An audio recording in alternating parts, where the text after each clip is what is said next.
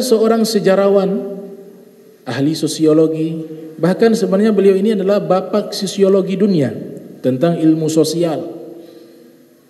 Jauh sebelum Adam Smith. Kalau kita baca di buku-buku waktu kuliah, orang pertama yang menyusun ilmu sosiologi adalah Adam Smith. Padahal jauh sebelum Adam Smith ada ulama bernama Ibnu Khaldun yang lahir tahun 732 Hijriah, wafat 808 Hijriah. Beliau punya kitab berjudul Tarikhul Islam dan kitab Muqaddimah, prolog. Nah, di dalam kitab tersebut beliau sudah menjelaskan tentang ilmu sosiologi, ilmu psikologi, ilmu kritik sejarah, analisis sejarah dan lain sebagainya. Itu kitab tersebut dinamakan Muqaddimah karena pengantar dari kitab beliau Tarikhul Islam, berjudul Sejarah Islam. Karena kitabnya begitu tebal, mukaddimahnya itu juga berjilid-jilid. Kalau dicetak secara e, lembaran yang singkat bisa berjilid-jilid, tapi kalau dijadikan satu kitab dia tebal. Padahal itu hanya pengantar. Jadi pengantarnya itu jadi satu ilmu dan jadi nama kitab namanya Muqaddimah Ibni Khaldun. Kitab aslinya dari pengantar tersebut berjudul Tarikhul Islam atau Tarikh Ibni Khaldun, sejarah karya Ibni Khaldun. Ibnu Khaldun yang lahir tahun 732 Hijriah, wafat 808 Hijriah mengatakan kitab usul fikih yang pertama karya Imam Syafi'i.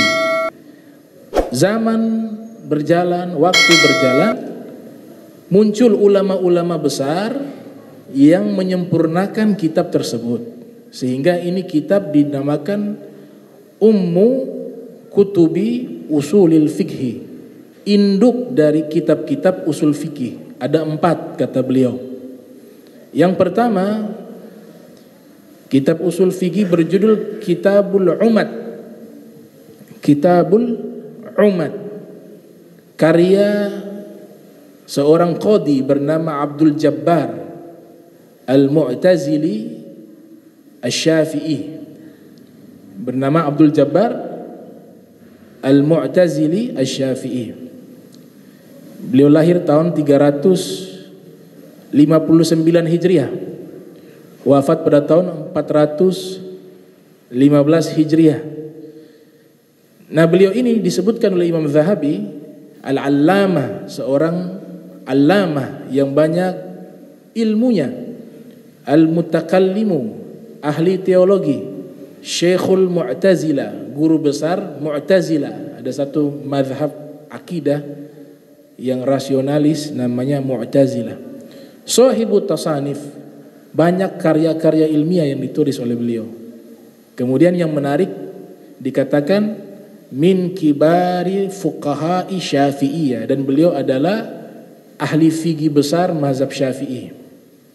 Ahli fikih besar syafi'iyah. Jadi tidak semua yang bermazhab maliki, bermazhab hambali, bermazhab Hanafi, bermazhab Syafi'i tidak semuanya mereka itu akidahnya sama. Bisa akidahnya berbeda. Secara fikih sama, sama-sama Syafi'i, tapi ada yang akidahnya Mu'tazilah.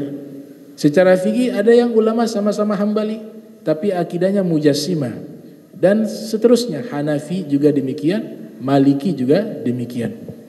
Ini ulama pertama yang menyusun kitab induk usul fikih Nama kitabnya Kitabul Umat. Ulama kedua murid dari beliau namanya Abdul Husain Al-Basri. Uh, beliau wafat pada tahun 436 Hijriah. Tahun lahirnya tidak ditemukan. Punya kitab namanya Kitab Al-Mu'tamad. Kemudian yang ketiga kitab induk usul fikih namanya Imam Haramain.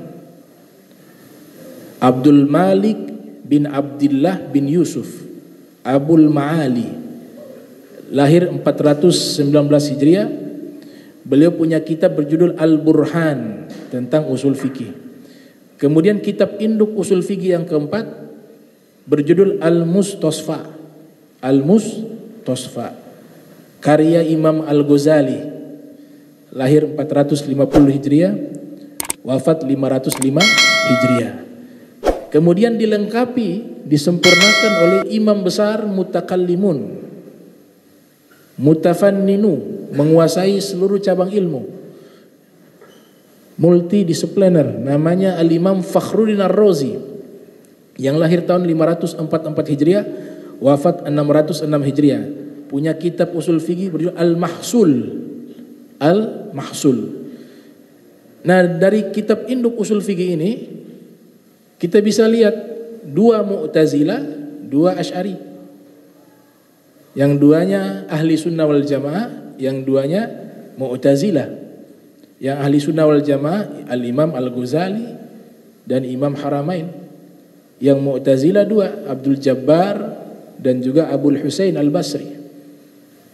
Nah, sehingga mereka ini walaupun akidahnya menyimpang menurut ulama ahli sunnah wal tapi ini jadi kitab induk usul, usul fikih khususnya dalam madhab syafi'i. Kitab induknya usul fikih dalam madhab syafi'i. Kemudian disempurnakan oleh Tajuddin As-Subki dalam kitabnya Jam'ul Jawami yang sangat sulit dipahami oleh para ulama karena punya ibarat-ibarat yang sulit